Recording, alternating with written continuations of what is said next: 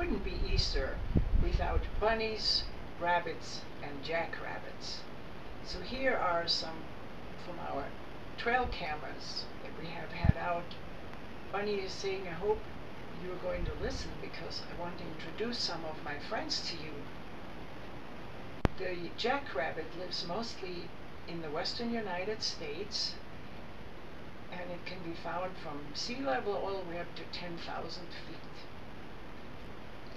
Jackrabbits have an average lifespan from two to five years and they have a huge amount of predators from birds to humans to other four-leggeds.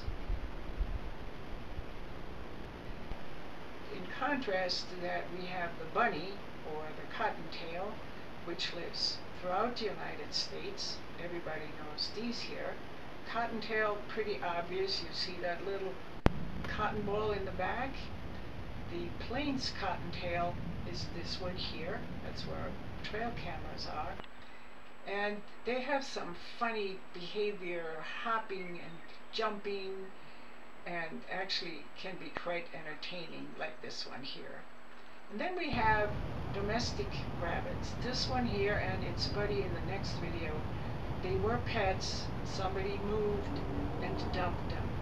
So they let them out in the wild. They're not equipped for that. We didn't know that.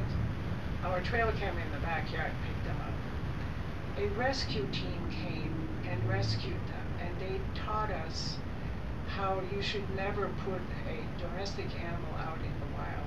They, they're not equipped so don't give a bunny for Easter. If you can't, then take care of it. Speaking about Easter, this now is the real Easter bunny. However, it does not lay eggs. That is misinformation that's been spread for centuries, I believe. And the bunny is saying, thanks for watching. I will be back next year about this time.